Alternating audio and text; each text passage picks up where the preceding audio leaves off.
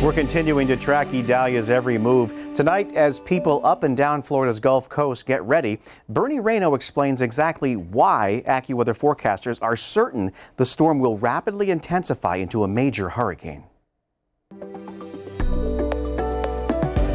In our WeatherWhys segment tonight, where we break down something complicated in the meteorological field and we make it easy for you to understand, we're going to explain to you why we are so confident that Idalia is going to become a major hurricane and strengthen over the next 24 hours. Now, throughout the day and even into the part of this afternoon, Idalia has been impacted by what? Wind shear.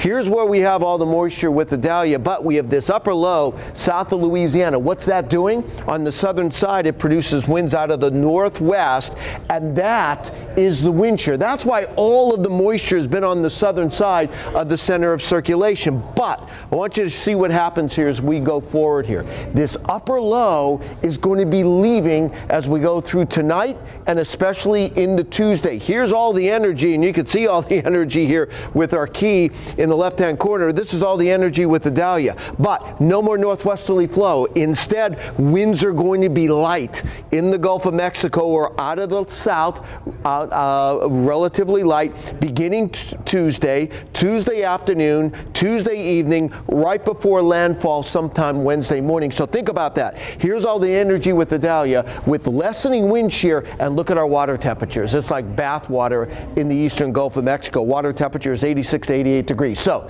you have the moisture, you have the light wind shear, and you have the warm water.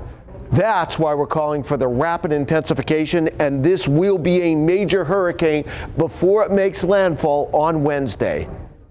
And now you know. All right, Bernie.